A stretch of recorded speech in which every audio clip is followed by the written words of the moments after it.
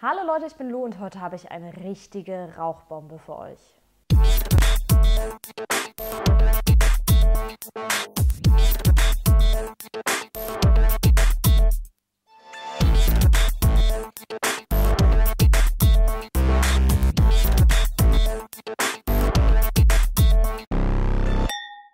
Endlich komme ich mal wieder dazu, euch einen Octomore vorzustellen. Octomore gehört zur Heavily Peated Reihe von Brooke Ladich und seit knapp 125 Jahren steht die Lady Distille ähm, auf der Insel Isla. Und äh, die Brennerei war zwischen 95 und 2001 geschlossen, gehört heute zum äh, Remy Contreau, einem französischen spirituosen Unternehmen. Und unser Octomore Heavily Peated hat ähm, 208 ppm, 58,5 Prozent, ist fünf Jahre alt, ist nur mit Scottish Barley gemacht und ähm, ist Nummer 07.2. Inzwischen ist ja sogar schon ähm, Variante 10 rausgekommen vom Octomar. Ich glaube, ich habe einen Achter schon mal für euch verkostet. Und ähm, generell ging es immer erstmal darum, mehr ppm, mehr ppm. Und ich glaube, der höchste hat 300 und ein paar zerquetschte, 95 oder so ppm. Ähm, und mit dem 10er sind sie jetzt das äh, 18 auf jeden Fall rausgekommen, im Oktober. Und äh, mit dem sind sie jetzt in der ppm-Zahl wieder zurückgegangen. Finde ich äh, super interessant von der Entwicklung. Octomore relativ jung, super preisintensiv. Also niemals unter 100 Euro, der hier auch 100 bis 200 Euro etwa und äh, relativ jung.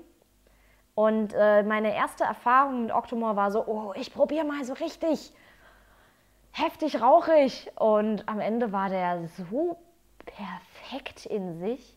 Intensiv vom Rauch, ja. Aber wir haben jetzt letztens auf der Messe, um das mal ähm, vielleicht deutlich zu machen, einen Octomore gehabt, den Zehner, und einen Port Charlotte in der Fassstärke. Und Port Charlotte ist ja die leichter gepietete Variante von Lady.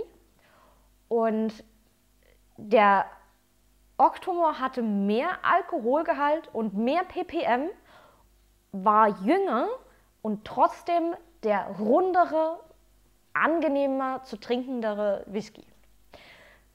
Also ihr seht, ich halte relativ viel von Octomore, auch wenn ich gar nicht sage, ja, der ist so super krass rauchig. Das ist nicht der rauchigste Whisky, den ich bisher getrunken habe. Also den hier habe ich ja noch nicht probiert. Es ist nicht der rauchigste Whisky, den ich bisher getrunken habe von der Intensität, aber er ist super gut eingebunden. Das verdeutlicht, finde ich auch, dass äh, eine ppm-Zahl nicht alles ist. Ne?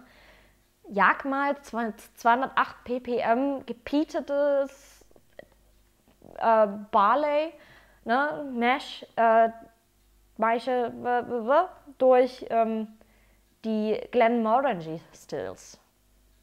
Ja, die sind super schlank, super hoch, da weißt du auch nicht, ob am Ende noch 208 ppm im Glas ankommen.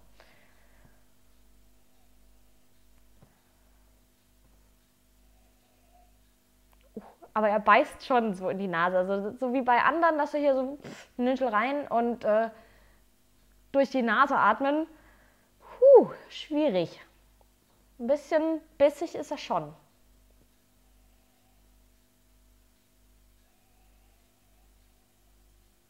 Aber sehr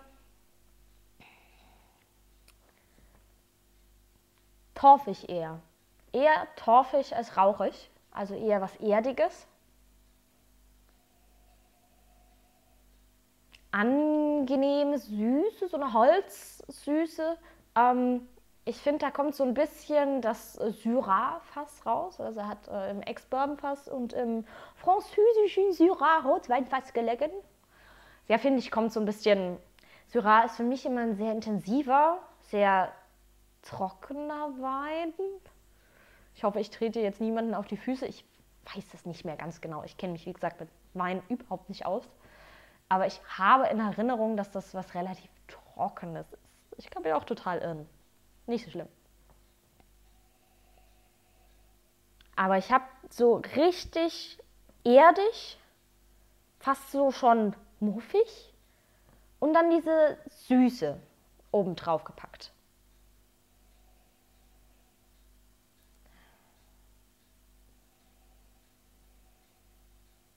Auch was würzig, so ein bisschen Maritimes mit drin, aber nur ganz dezent und mehr verrät er von der Nase her nicht. Ich finde, da ist er schon sehr, hm, zwickt da oben rein. Ich probiere ihn jetzt einfach mal. Also ich habe in Erinnerung, dass Oktober relativ weich und perfekt vom, vom Geschmack her ist. Mal gucken, ob das bei dem auch so ist.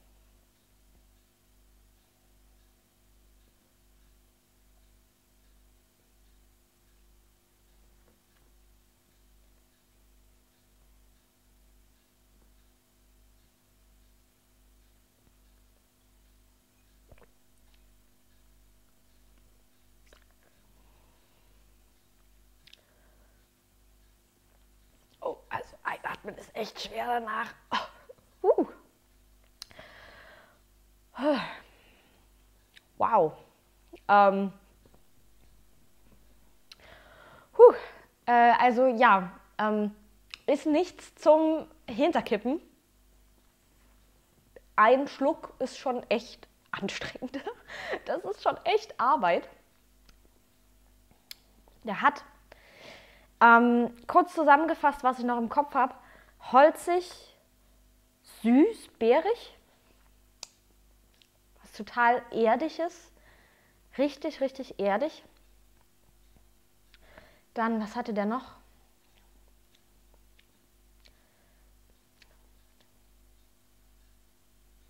Leichte Rauchnote. Am Anfang wirklich, also im Mund sehr angenehm, sehr süß. Und der Rauch kommt halt so hinten raus erst und macht dir das Atmen richtig schwer. Du merkst richtig, wie der sich so wie so ein, wie so ein Kloß durch die Speiseröhre nach unten drückt. Puh.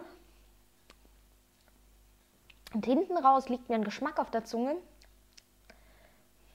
der sich, mich so ein bisschen an Salami-Rauch erinnert. Also so was Würziges und so ein bisschen, kennt ihr, na, so, so eine rische, trockene Räuchersalami. Na, die Ohr bestätigt so riecht der für mich. Äh, riecht, sage ich schon. So schmeckt er für mich hinten raus auf der Zunge.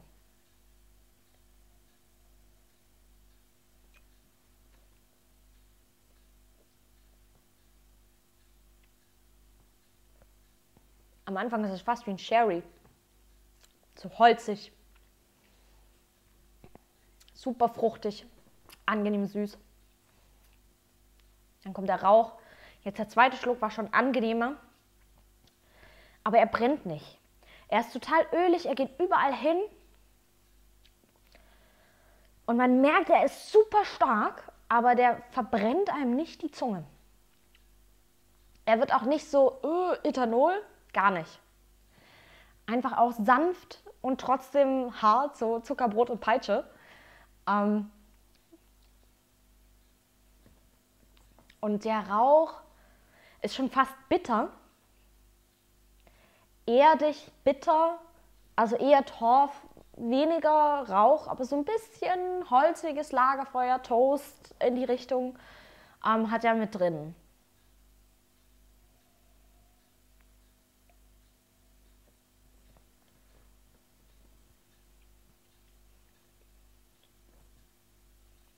Der ist auch super warm im Mund einfach. Puh, da wird mir persönlich gleich warm. Ähm,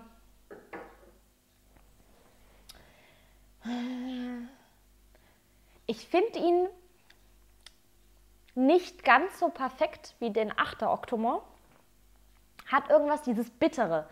Dieses Bittere stört mich persönlich ein bisschen, aber ich bin, wie gesagt, kennt er ja inzwischen, überhaupt kein Fan von bitteren Geschmäcken. Geschmäckern, Geschmack, whatever. Ähm, das stört mich so ein bisschen an dem Siebener. Leider, aber ansonsten perfekter Whisky. Rund, weich, kräftig intensiv, trotzdem nicht so und du bist K.O. Es ist kein K.O.-Schlag.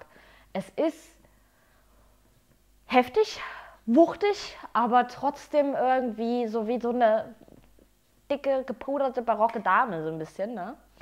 Ähm, wow. Aber absolut preislich nicht meine Dimension leider. Äh, ja, das macht so einen kleinen Knick da drin in der ganzen Geschichte, aber geschmacklich gebe ich dem trotzdem sieben Punkte. Auf jeden Fall hat mich wieder total beeindruckt als Oktomor. Ist nicht mein Lieblingsoktomor, auf keinen Fall. Ähm, und wesentlich weniger einfach nur rauchpflasternd, als ähm, man annimmt durch die ppm-Zahl.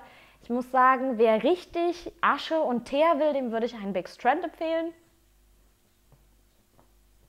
Betonierte Zunge, sage ich nur. Ähm, der ist wirklich rauchig, intensiv, kräftig, aber trotzdem sanft, leicht, super angenehm. Äh, Finde ich sehr nett. Was haltet ihr von Octruma? Was haltet ihr von hohen ppm-Zahlen? Ähm, was würdet ihr gerne mal für Experimente trinken? Habt ihr einen Vorschlag für mich, was ich mal so ganz Besonderes an äh, Whisky probieren soll? Einen bestimmten, etwas Deutsches, etwas äh, total abgefahrenes wie den Fisky. Ich weiß nicht, ob ihr davon gehört habt, dieser Fisch-Whisky. Äh, wenn ihr Lust habt, dass ich mal sowas Gruseliges probiere, dann schreibt es einfach unten in die Kommentare. Ich bin ganz gespannt, was mich erwartet. Und ich hoffe, euch hat dieses Video gefallen und wir sehen uns beim nächsten Mal. Slanji! Und damit ihr auch ja keinen Whisky mehr verpasst, abonniert mich auf meinen Social Media Kanälen und schaut nochmal auf meinem Blog vorbei. Da gibt es noch jede Menge mehr Infos zum Thema Whisky für euch. Und bis dahin, Slanji war!